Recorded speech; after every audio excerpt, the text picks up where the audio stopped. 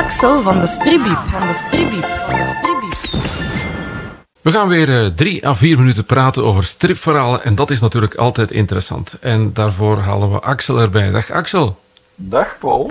Vandaag wordt het eh, centrale thema de trein, heb ik begrepen?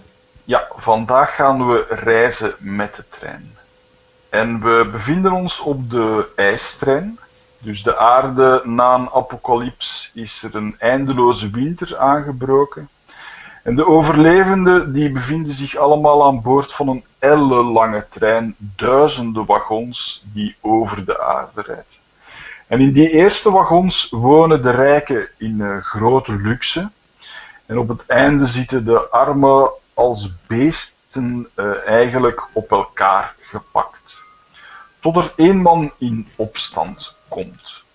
En uh, deze klassieker onder de strips is uh, ondertussen ook uh, verfilmd.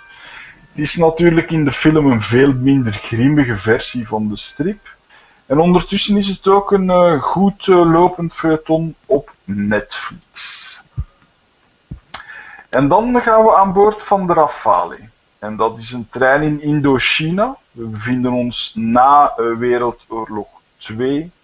Dat is een Franse kolonie en de Rafale is een versterkte trein waarmee de Franse militaire posten bevoorraad worden. En er is een burger, een, een ingenieur, ons hoofdpersonage, dat wordt opgenomen in het Vreemdelingenlegioen om in het onderhoud van die trein te voorzien. Maar ondertussen rommelt het natuurlijk daar in Indochina, in Vietnam, en de opstand tegen de koloniale onderdrukker, die barst los. En een zeer speciale soort trein is de wezen-trein. Ook die heeft echt bestaan uh, in Amerika. Dat waren straatkinderen, wezen, die vanuit de oostkust werden zij op de trein gezet naar het platteland van Amerika. En officieel werden zij geadopteerd, maar in veel gevallen uh, werden zij gebruikt als goedkope werkkrachten. En die uh, wezen proberen in dit verhaal te ontsnappen aan hun erbarmelijke lot. Dus afsluiten doen we vandaag met de strip 12 Schoonheid. Dat is een strip van François Schuiten. Die is gekend van duistere steden en die tekent in deze strip uh, in zwart-wit bijna gravures.